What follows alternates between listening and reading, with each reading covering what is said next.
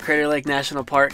We came very early to watch the sunrise. We're at Discovery Point Trailhead. It's a very unofficial looking lookout point. It's just to pull off on the side of the road. If you type it into the GPS, it'll take you right here. Breakfast is gonna be a little uh, short today. We have one egg and nothing else. So we're gonna do a deconstructed peanut butter and jelly. Also, yesterday the honey leaked, so everything is sticky.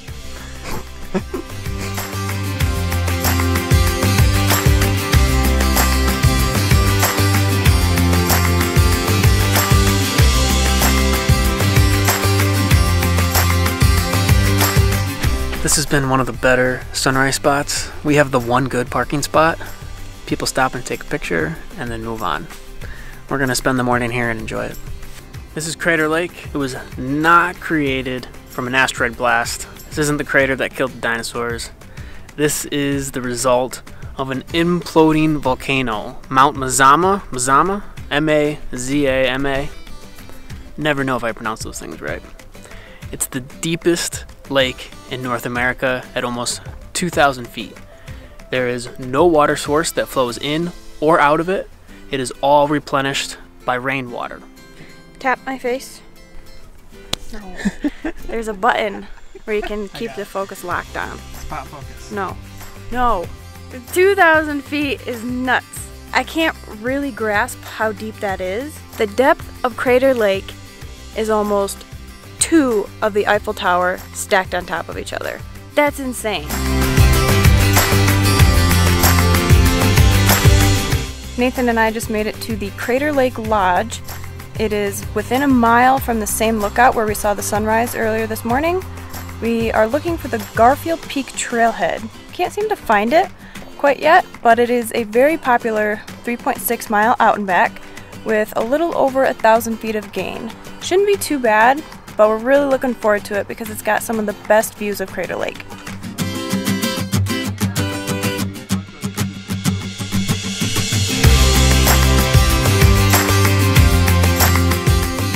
Something else about this lake that I really love is it is a non-boat lake. Not even canoes or kayaks.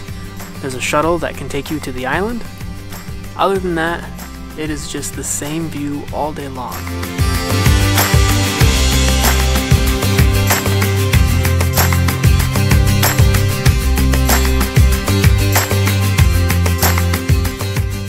That front sign said it's a strenuous three to four hours for this hike.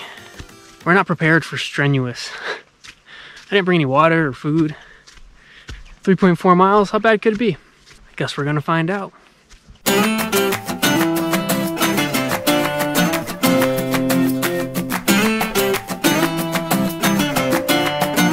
think I'm gonna enjoy every angle of this lake.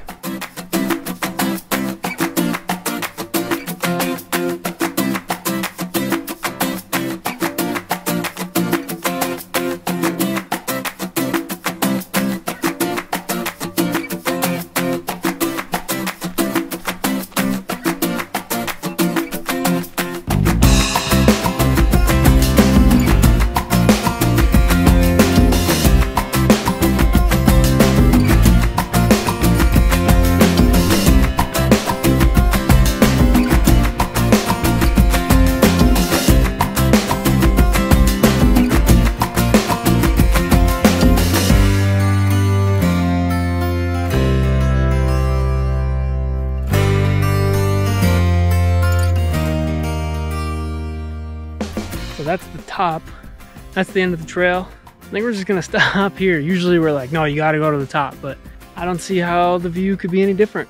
We can see both islands. You can see the entire lake. We're all alone down here.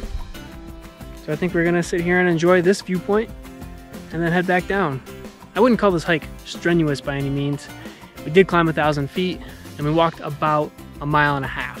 So it'll be about three miles total. This was about a three or four in difficulty. There was plenty of switchbacks. It was a gradual climb. It wasn't easy. Definitely wasn't strenuous. So we're gonna head down and eat some lunch. There is a scenic drive in this park. How much more scenic could it get? Do the hike. We'll probably still do the scenic drive.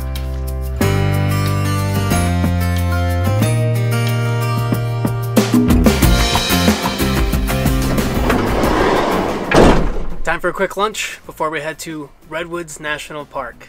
We just got our permit to hike a trail tomorrow, so we gotta get a move on. What's for lunch? Macaroni and cheese. We've eaten our weight in macaroni and cheese and tuna packets, but when we really want something, we don't feel bad paying for it because this is what we eat most of the time. Come into the light. Oh my. Got a little dusty on the trail.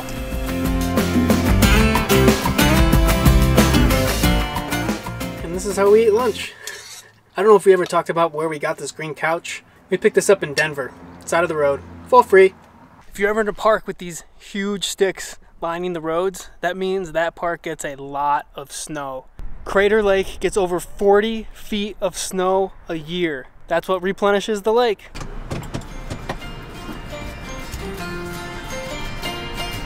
And we're off.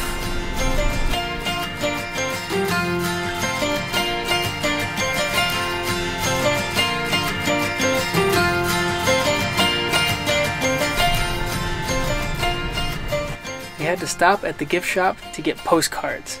These are for our patrons, top tier patrons. If you're interested in getting a postcard from us every single month, check out our Patreon page. Link down below.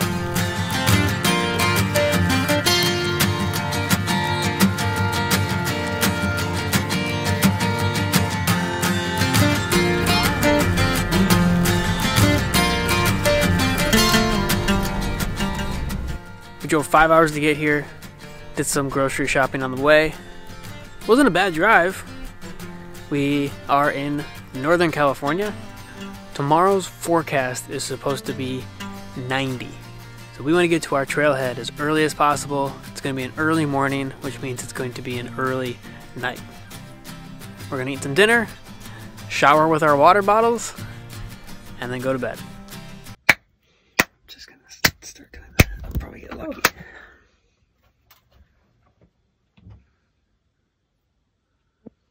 Nathan, this is insane.